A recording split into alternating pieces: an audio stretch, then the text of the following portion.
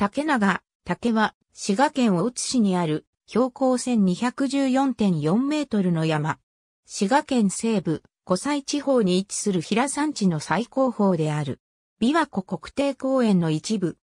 日本二百名山、近畿百名山の一つ。竹長、竹は、釈迦岳を最高峰とする北平、同じく、蓬莱山を中心とする南平に対して、平山地の北部を占める奥平に位置している。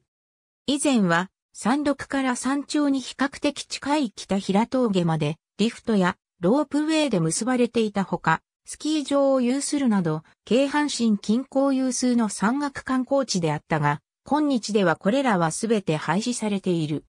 山名は、中腹部にブナの木が多く生えていることに由来していると言われている。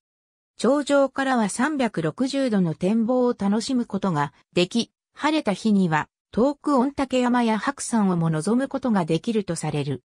竹長、竹は奥平の他の山岳同様、中古清層にあり、砂岩や泥岩等の堆積岩により形成された路頭である。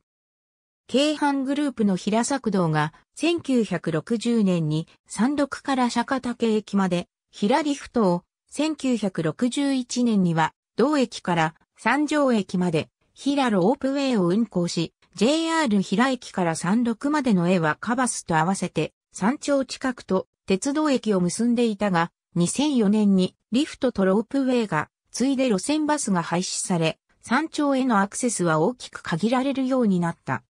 しかしバスに関しては、2013年7月6日から、冬季以外の土休日に限り高和化、バス、平登山線の運行が再開された。なお、1980年代前半に竹長竹へ直接登るロープウェイの建設が計画され、新聞報道もなされたが、環境破壊を懸念する声も高く反対、署名運動が行われ、その後バブル崩壊もあり中止された。ありがとうございます。